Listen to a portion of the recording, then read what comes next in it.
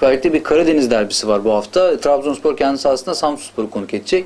Kupada yoluna devam etti hafta içi oynanan maçlarla iki takımda. Samsunspor penaltılarla yine bir Karadeniz takımı olan Orduspor'u elerken Trabzonspor e, daha çok kolay bir rakip oynadı. E, Güngören karşısında bir 2-0'lık galibiyet e, onlar açısından turun gelmesine yetti.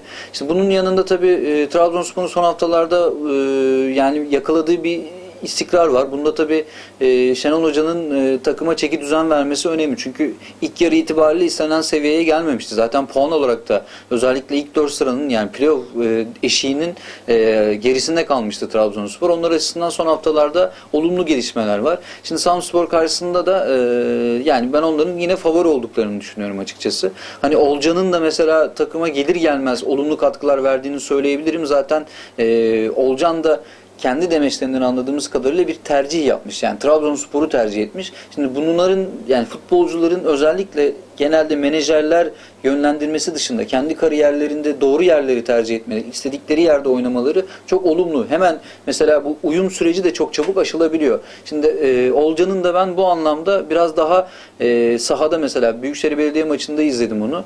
E, kupa maçında izleyemedim ama Büyükşehir Belediye maçında gördüğüm Olcan e, sorumluluk alan, sahada e, takım arkadaşlarıyla e, olumlu ilişkiler kurabilen, oyun anlamında söylüyorum, e, bir görüntüdeydi. O da yeteneklerini sergilemesi açısından önemli. Şenol Güneş onun için tıpkı bütün hani e, oyuncular için olduğu gibi onun için de bir şans. Tabii Samsun Spor'da da önemli transferler var. Ya şimdi e, yerli oyunculardan hep e, hücumda mesela etkili olabilen, adam eksiltebilen, e, hücuma e, doğrudan hücumlara katkı verebilen Süper Lig'deki oyunculardan mesela Uğur Boralı transfer etti Samsun Spor. Bunun yanında Serdar Özkan'ı transfer etti. Bunlar önemli. Murat Ceylan'ı orta sahaya aldı ki Süper Lig'de kendi yaş kategorisinde hep beklentilerin yüksek olduğu bir oyuncuydu. O seviyeye gelemese bile çok maç oynadı ve tecrübeli diyebilirim onun için.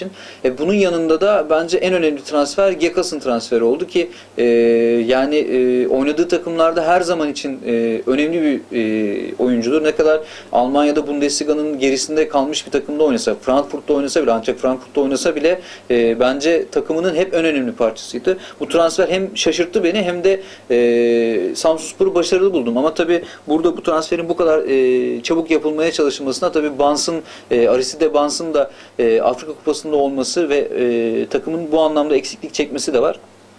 Bunun yanında tabii Trabzonspor'da da Zokoro yok. E, o da Afrika Uluslar Kupası'na gitti ama Trabzonspor onun eksiğini kapatacak gibi gözüküyor. Şimdi maça dönecek olursak oranlara bakacağız. Oranlarda e, 1.20'lik Trabzon galibiyeti oranı sizi tatmin etmeyecektir muhtemelen. Ben burada e, 1.60'lık oranıyla e, üst tercihine yönelebileceğinizi e, söyleyebilirim. Yani e, iki takımın görüntüsü de 2.5 gol e, barajının aşılabileceğini e, düşündürüyor bana. Yani alt 1.75'lik alt oranı biraz böyle havada kalıyor bence. Hani e, 2-1'lik bir galibiyet olabilir. Mesela karşılıklı gol vardı denilebilir burada ama benim tercihim 1.60'lık oranıyla üst olacak.